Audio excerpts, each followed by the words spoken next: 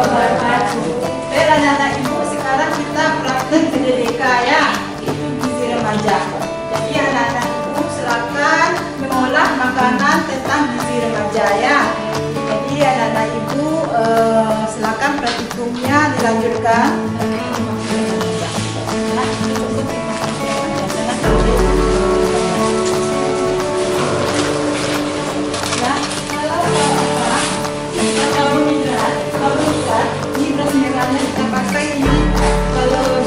Biasa, pakai aja satu porsi makanan. Ini pakai aja berasnya 100 gram. Ya, ini perbandingan airnya satu banding